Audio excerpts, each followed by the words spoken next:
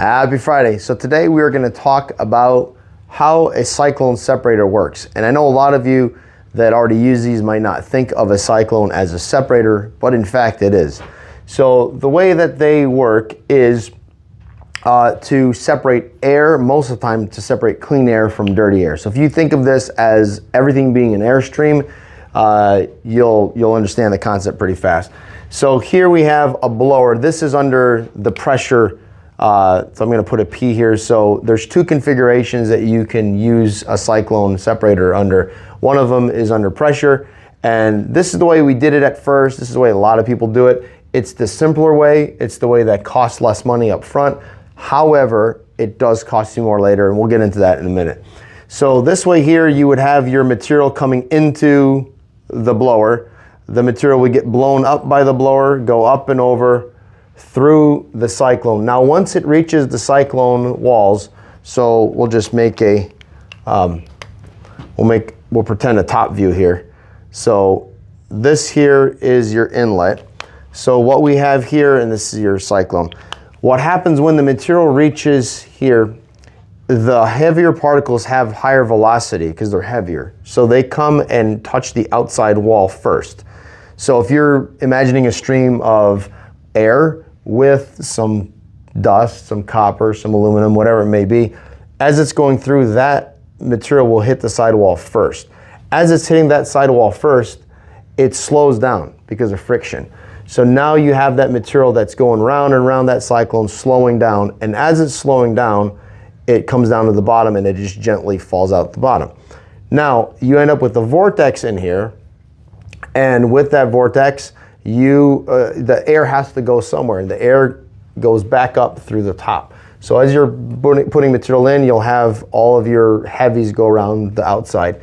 Now if this is sized properly, you'll get this to remove even fine particles of dust. Now there is a limit, there's some dust that's so light uh, and you will get some dust that will fly out through the top. Now the other method that uh, we use and that we'd like to use over this original method is we like putting this cyclone under a vacuum. And the way that we do that is we put an airlock down here. So I'm just gonna move this here out of our way. So we'll put an airlock here and this has rubber flaps in it. And now what happens is we will use a blower and we'll tie the vacuum end of the blower to the top of the cyclone. So now here, I'm gonna erase this little blower here. This blower no longer exists, and all we are doing is connecting it to our source. It could be a granulator, vertical mill, turbo mill, whatever it is.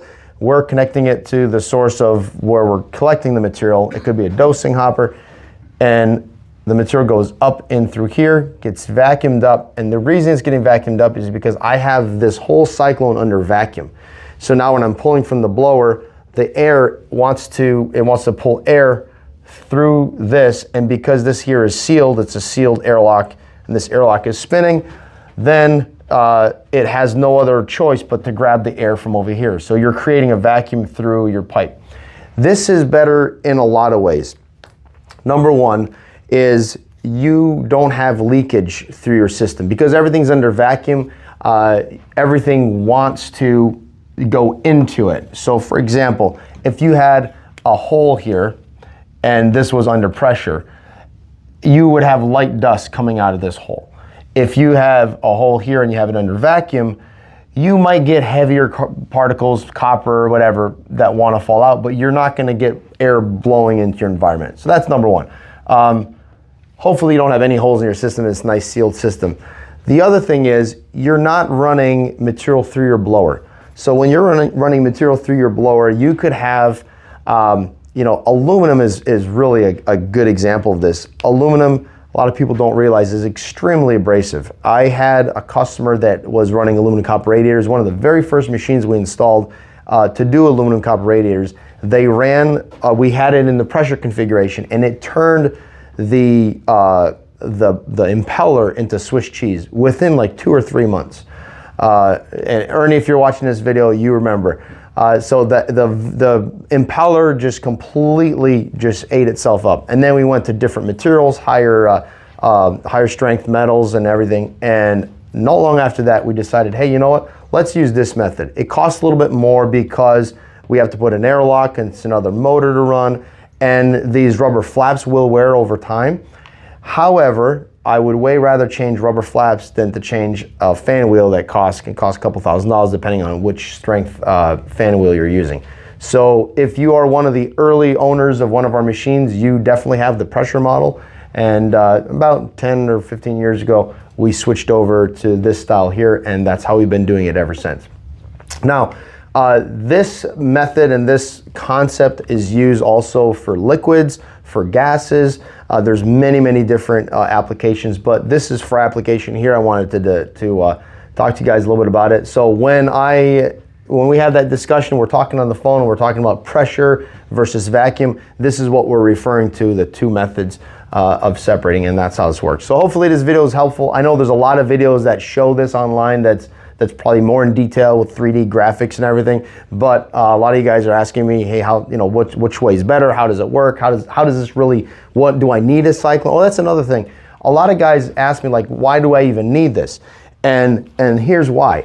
If you are you have an air table. Most of the time we put these over the neck spot. So say you have an air table here and we're just gonna draw a crude box with the air table going through. So your heavies would be coming out here and your lights would be coming out here. The last thing you wanna do is have a blower that is blowing into here because now you have not just material coming and dropping onto here, you have you know, imagine having your leaf blower. Take your leaf blower and then just put it in the top here and just blow it. You're just gonna blow everything out the front, out the back. It's gonna make a giant mess.